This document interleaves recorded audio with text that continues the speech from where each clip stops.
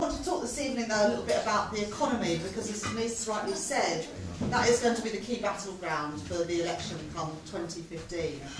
And we're halfway through this parliament now, two and a half years in, and we have the autumn statement this week, which is the sort of like midterm exam for the government of how they're getting on in terms of delivering what they said they would. And if we remember back to 2010 in the Rose Garden and the coalition agreement, they said that during the course of this parliament the economy would grow in every year, unemployment would fall, and that by the end of this parliament the structural deficit would be reduced and debt would be falling as a share of GDP. So how are they getting on in terms of these targets? Well, I'm afraid that they've failed on every single one of them.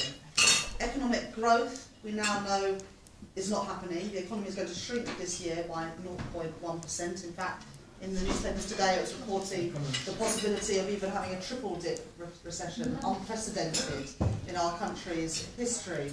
Unemployment is now expected to be higher during the course of this Parliament than the Chancellor previously set out. Unemployment today is higher at the general election, two and a half million people out of work, a third of them out of work for more than a year and nearly a million young people out of work.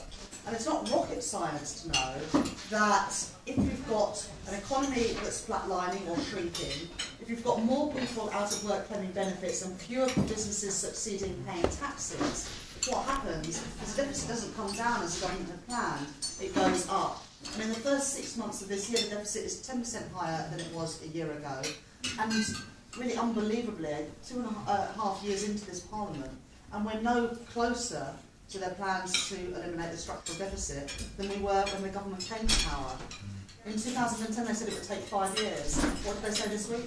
It would take five years. Not five years from 2010, but five years from today. So we've made no progress in two and a half years, despite the